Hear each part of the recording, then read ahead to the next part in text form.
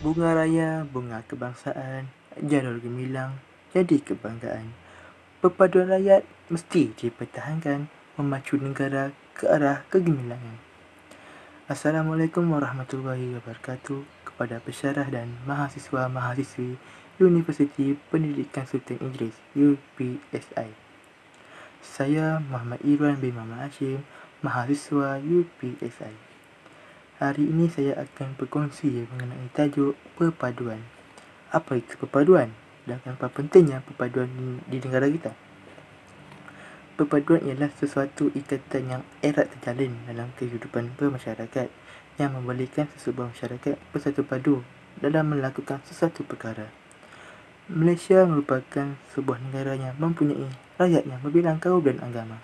Jadi, perpaduan ini amatlah penting bagi menyatu padukan rakyat dan mengelakkan berlakunya perbalahan dalam kehidupan bermasyarakat seperti yang pernah berlaku pada 13 Mei 1969 yang lalu.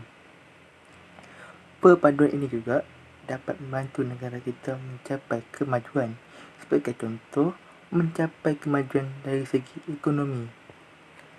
Bahkan ia juga dapat menangkis tumahan yang dilemparkan oleh negara luar yang menyatakan Malaysia ini mengamalkan diskriminasi kaum walaupun sebenarnya tidak.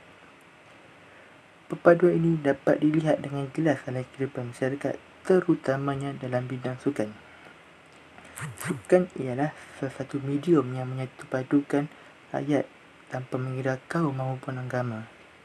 Sebagai contoh, rakyat bersatu padu memberi sokongan kepada pasukan bersepak kebangsaan dengan pergi ke stadium bersama-sama. Bahkan berkumpul beramai-ramai di kedai mamak bagi menyaksikan perlawanan bola sepak yang dimainkan oleh pasukan bola sepak kebangsaan dengan penuh semangat.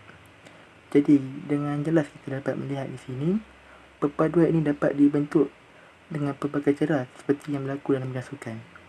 Jadi, kesimpulannya, kita sebagai rakyat Malaysia hendaklah mengekalkan perpaduan ini dan mengelakkan segala perbuatan yang boleh menghancurkan perpaduan ini dan memastikan negara kita kekal merdeka dan kekal satu padu. Tidur lena di buah mimpi, pagi bekerja, malam berehat. Perpaduan ini mesti dijaga rapi, memastikan kelesaan hidup bermasyarakat. Sekian.